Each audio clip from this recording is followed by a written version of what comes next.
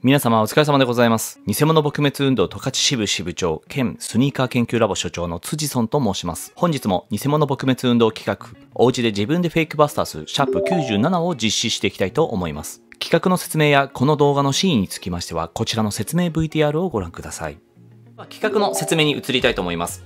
皆様方がフリマサイトなどの二次流通リセールサイトで購入した今回の対象スニーカーを私が所有している一次流通品または第三者機関鑑定済みの正規品と認められたスニーカーに限定し動画上であらゆる角度から比較することによって偽物の撲滅運動そして皆様方が所持しているスニーカーの中でこれは偽物かもしれないといった偽物に対する不安解消につなげるための動画企画となっております。またナイキクオリティ個体差がよくわからないという方はですね、今回の動画では説明を省略させていただきますが、ぜひこちらのバックナンバーシャープ82の動画のですね、冒頭2分から4分16秒までのおよそ2分間の説明をご覧いただければと思います。まあ、結果としてですね、私が皆様方に言いたいのはですね、個体差を知ってから本物を知ることが一番重要なことであると。個体差を知らずしてこれは偽物ではないかと。不安になるのはですね、ただの知識不足に過ぎないということです。また過去様々なスニーカーの企画動画を公開しておりますので、ぜひその他のバックナンバーも参考にしていただければと思います。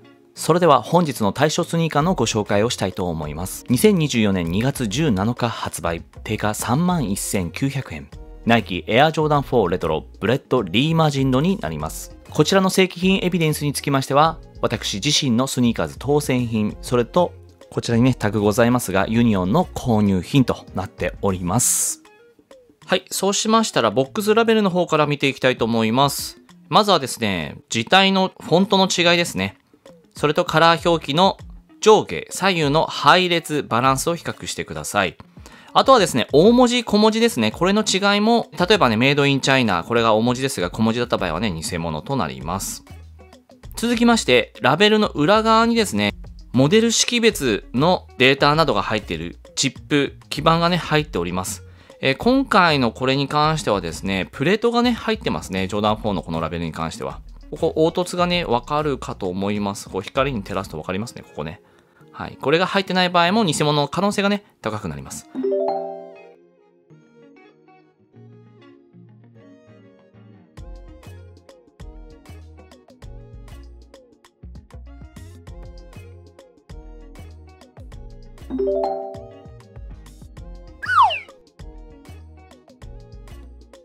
で、まあ、今回こちらに関してはユニオンのまあ、購入品ということでユニオンのラベルが貼ってありますね。それではね、ボックス全体ちょっと見ていきましょう。えー、照明などを照らしてですね、凹凸感、段ボール感がないか比較してください。まあ、若干ありますがね、これに関しても。ただこれは正規品の範囲内です。え、偽物とかはですね、左にね、写真があります通り、クオリティが低い場合に関してはめちゃくちゃ段ボール感すごいです。裏がこんな感じですね。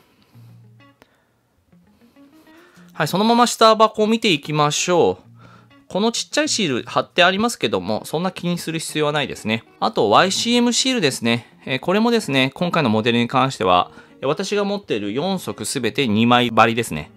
しかも素材感が違いますね。1枚目にこれ貼られてるのがですね、あの、透けてるタイプ。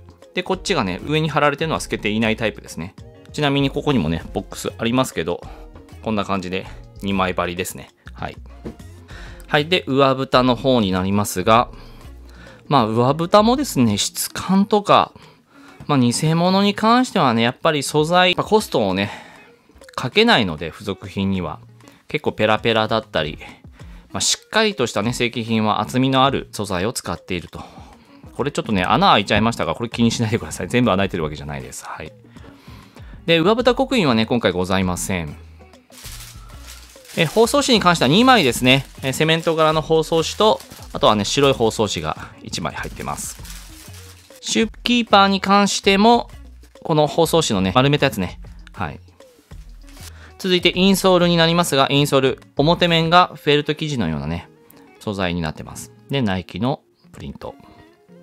で、こちら、右足ですけども、R とね、色彩がございますが、左の場合は L ですね。あと、サイズ、え、表記、青いインク、これもね、ついてます。はい。続きまして、プラスチックキーホルダーですね。はい。表面がカく。表面はこっちか。マットタイプ。裏面がカく。え続いて黒タグですね。え左の偽物黒タグと、まあ、比較しまして、取扱説明書をご使用前に必ずお読みください。まあ、この字体がね、太いか太くないか。え枠のね、太さ、これもですね、太い場合は偽物の可能性が高いと。あとはですね、素材表記など、えー、これ天然比較合成繊維、合成樹脂、合成繊維と記載がございますが、それ以外のね、えー、ことが書かれている場合に関しても偽物となります。あと、黒タグに関してはですね、個体差ございます。マットタイプのもの。あとは、活卓があるものですね。まあ、これに関しては活卓あるタイプですね。はい。はい、それではね、早速、ディテール、アッパー、外側からね、見ていきたいと思います。えー、まず、フォルムですね。まさに、パッと見た感じの形、形状、これに違いがないか比較してください。ちなみにこちら、私の枚数26.5センチでございます。クローズアップしていきたいと思います。はい、今回ですね、レザーに関してはスムースレザーではなくて、フルグレインレザーということで、まあ、最高級のレザーを使用していると。で、プラパーツ部分。で、内側からのアッパーの外観ですね。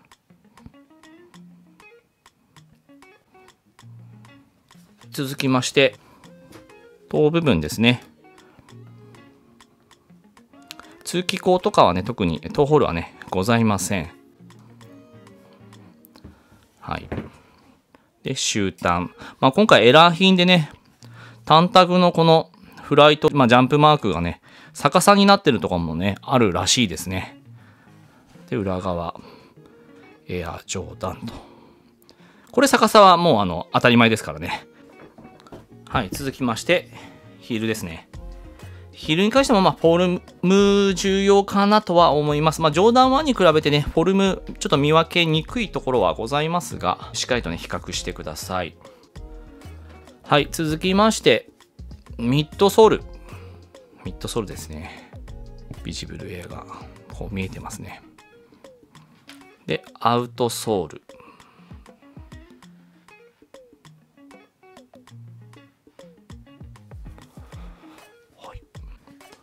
続いて、中底ですね。中底に関しては、まこのようにですね、白いメッシュのような素材になってます。で、青いインク、これ多分ね、数字かなんか刻印が入ってるんだと思うんですけど、印字ね。これが先ほどのインソールの裏にね、映ってましたね。ライニングであったり、まあ、終端の裏側もそうですけど、え先ほどのね、インソールと同じようなフェルト生地っぽい感じですね。